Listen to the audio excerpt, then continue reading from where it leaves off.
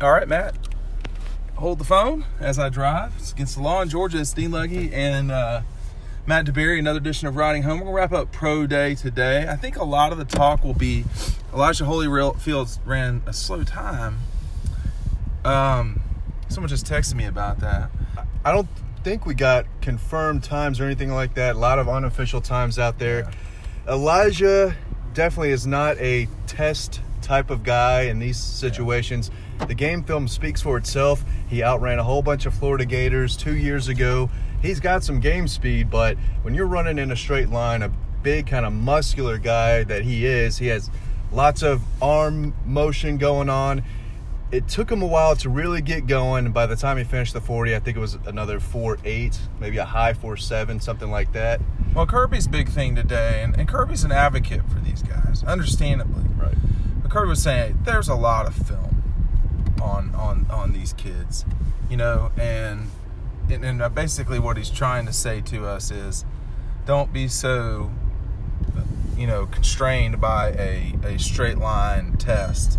However, he Kirby's right, but there's also this a nuance of, okay, you know, this is a test.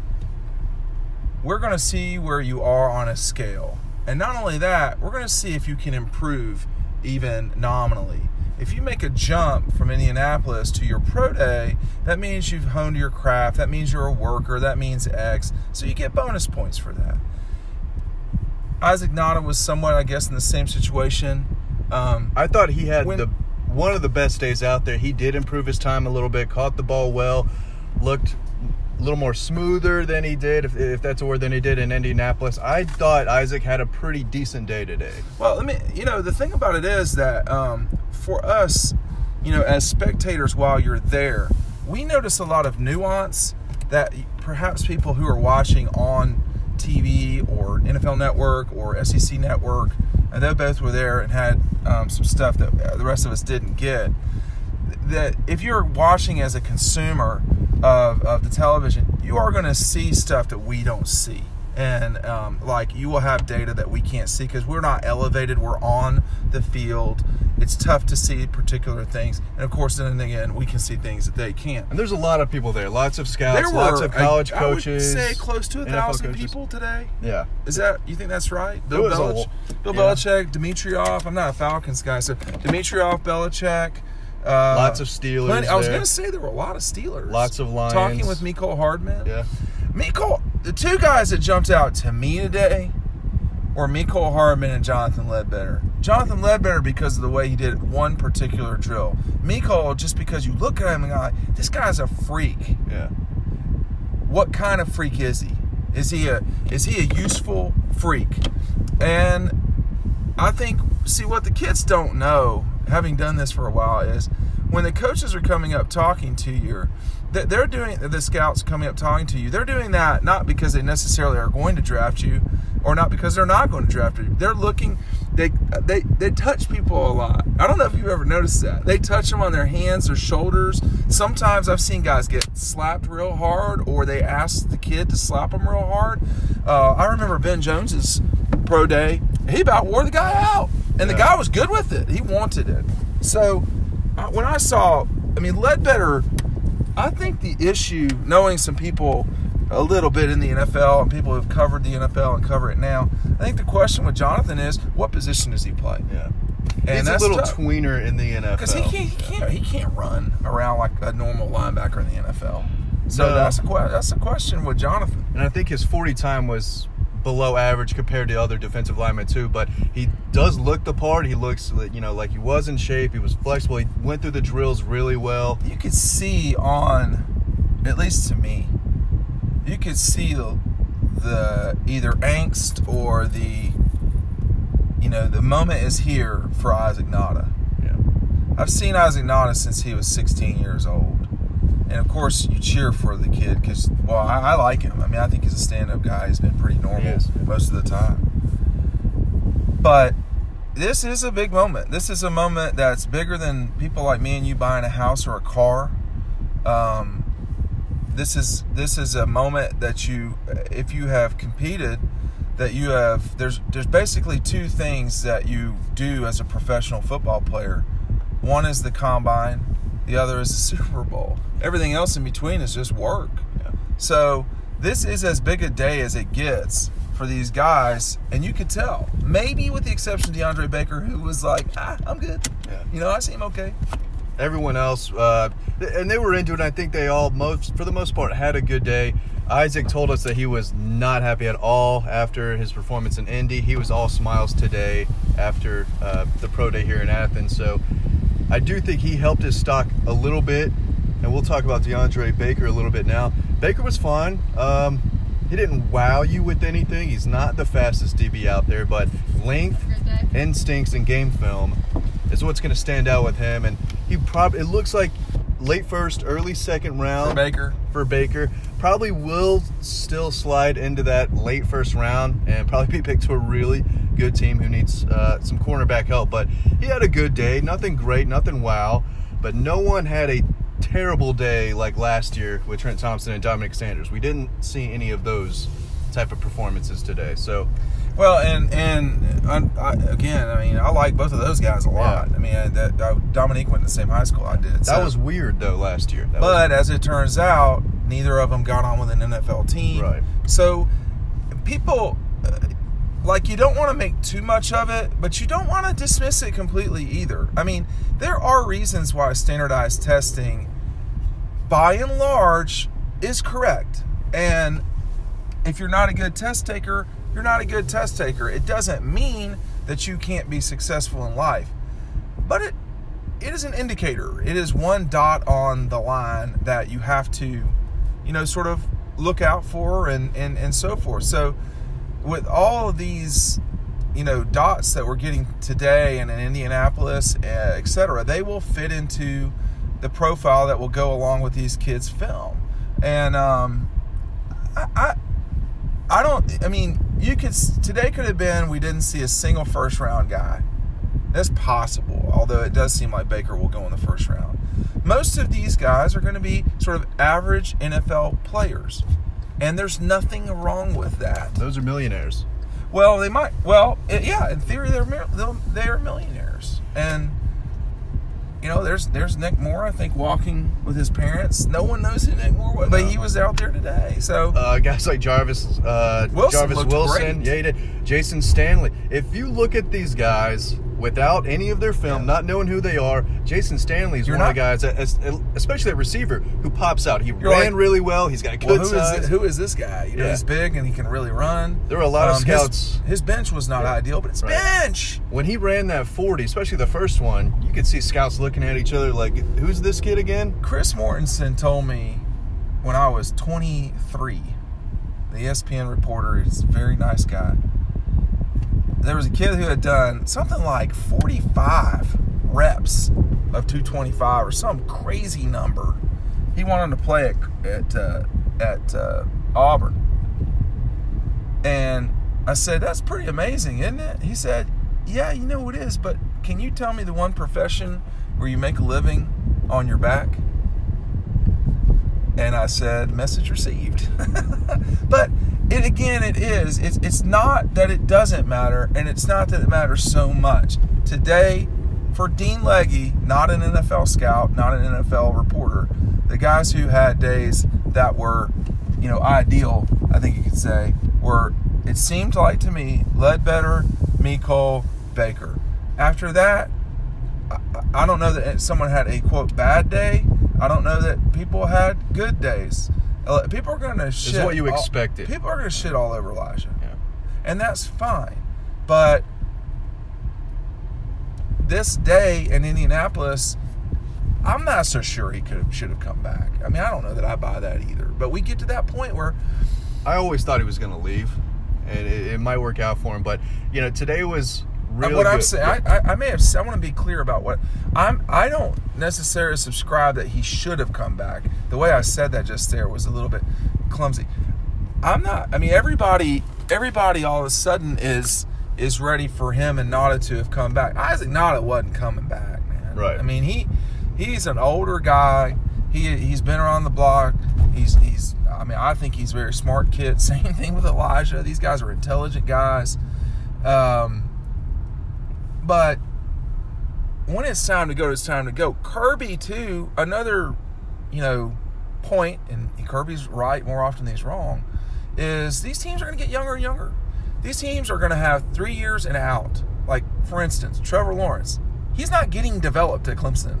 He's going to be there for three years and he's leaving. That's it.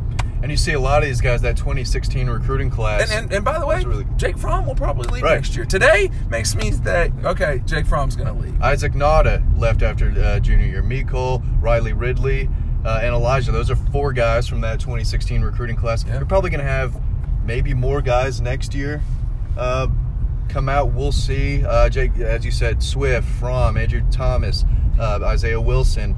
So it should be another big day here next year. Might be able to see some more first round picks. But today was really big for guys like Terry Godwin, who easily just gets forgotten about. He does, because because as as really solid a career as he had, this is a five star kid, and he will get drafted. But he is. I, I even hate to say the word, but he, Terry is average Yeah. when you look at the NFL. He doesn't look the part like maybe Riley really does. He's not as fast as Mecole or Jayson Stanley. Right. Uh, but he he's catches, not as big as Julio Jones no, or AJ Green. he's I not mean, the biggest guy, not he the is fastest a really guy. good college receiver is. that is not going to scare anyone in the NFL, and that is the challenge for God for the vast majority of people. Again, if we don't get off standard deviation, if we if we are dots along the line, not sort of some crazy thing where you need to go into a regression analysis.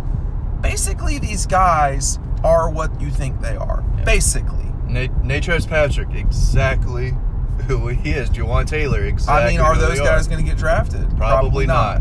Probably not. And Natrez also has strikes against him for the off the field stuff. Yeah. So Ledbetter should. Led, Ledbetter will be Ledbetter should Ledbetter will. Baker will get drafted. Ledbetter, well, Baker, Hardman, Ledbetter. Uh, I'm trying to think of other people because uh, uh, DeAndre Walker, who did not go today. Um, so I think they, they will have guys that will get drafted. But as always, there are guys that will not get drafted. It will just be, you know, how do they fit with the team they go? Ben Jones, third round or fourth round draft guy, he's had a career, a second contract in the NFL. I love Ben Jones personally. It is not a surprise to me that he's still in the league. He was drafted. Guess who wasn't?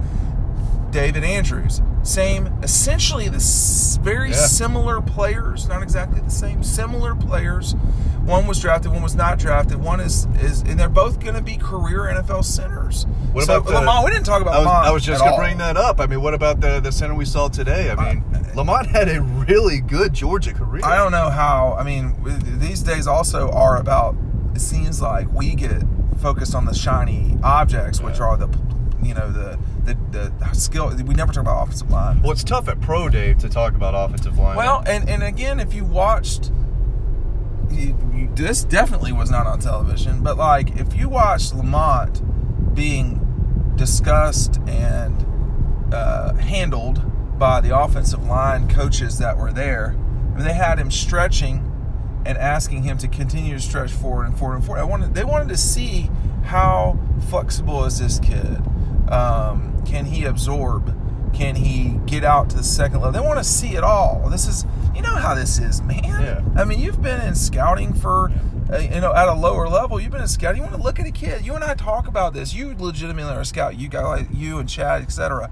Uh, You know, y'all look at kids, and well, we all look at kids, but y'all look at them and you say, uh, you know, I'm concerned about X. Yeah. Chad used to love little ankles, with with good reason. there's always something that you know we, we look at first and all that. But Lamont's a guy who came in as a defensive lineman. He, he's had a great Hell of a career. college career, and he will get a shot in the NFL with. In the NFL too, a lot now, a lot for not just now, but over time, it, it's a salary cap game. It's how much can you get out of these draft picks in their first four years if they're not first round guys. How long can you? How much can you get out of their first five years? You look at a guy like Cam Newton, number one overall pick. He's breaking down physically. and Cam has had a second contract, and he is a franchise quarterback. Yeah. And even Cam Newton, who has a particular style that's not conducive to sticking around forever, even Cam Newton gets run down. I mean, that's a big dude. And so, guys like Lamont, whoever they're replacing, in theory, if they're replacing a franchise player, how long can they go for? That's why this really is, these are multi million dollar decisions. Not just for the kid, but for the franchise itself. They are investing in one year between, I would have to look at the numbers exactly, but between 15 and 30 million dollars with all of their selections in the first year. Uh, something like that. That's their investment, and it depends on how high the first, the number one guy goes. I mean, if the number one, if your number one pick is getting guaranteed money for X, you know, it's, that number gets pushed even higher. So these really are critical decisions. They shouldn't be dismissed. The tape don't lie, but neither does the in-person touching feely moments. Um, I know I've rambled, but I have done this for a while now, and I, I fully understand I'm not an NFL scout. I'm not trying to act like I know more than I do, but you, you do feel for guys when they have bad days. But the truth is, we all have bad days in big moments.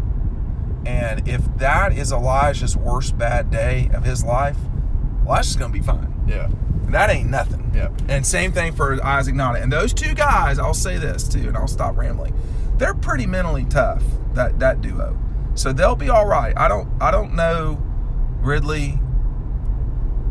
I don't know those guys like that, but Elijah Holyfield is a pretty tough little guy. Same thing with Isaac Nauta. Those two guys are tough guys, mentally, obviously, physically. So if this is their worst day in life, they'll be fine. Real quick. That's a real good. That's a real good worst day. It is. Real quick to wrap this up, we did see other guys out there, uh, Kendall Baker and a few others. Uh, a former Georgia Bulldog that we saw who was Tramel. Tramel Terry. Yeah. Uh, if you're listening to this, remember Tramel Terry, four-star athlete out of Goose Creek, had some injury issues, wound up at Jacksonville State. He was out there today. It was good to see him. I'm trying to wrap this up because you're hungry. Well, well, I just saw we pulled up, right? I don't know where we are. This doesn't We're look not like a driving Mexican anymore, restaurant. so we're gonna. Yeah, it's a Gotcha. It's, Okay. yeah, I know my spots All now. Um, overall, good day, Dean. Any last? I, I don't know that it was a good day for the for, for the Georgia I Bulldogs. think it was a good day. No, because no one had a bad day. I guess that's the best. Well, the question is, did Elijah have a bad day? Did whole, uh, did uh, Nauta have a bad day? I think that it will be categorized as a bad day because they didn't run the 40 as well as people want. Um, but if you're drafted in the fifth or sixth round with a team that you make sense with, it's not a bad day. No. So it just means less money, and I, I don't think Elijah Holyfield needs tons of money. I don't day. think Elijah helped his stock. I'm not sure DeAndre Baker helped his stock. Yeah, that's true too. I think Isaac Nauta did a little bit. He, Really? He had a better day today than he did in Indianapolis, and he said that a lot. He was all smiles after this. Yeah, he, he, feels was pretty he, good. He was okay with it. I thought he had a good day. Mecole is.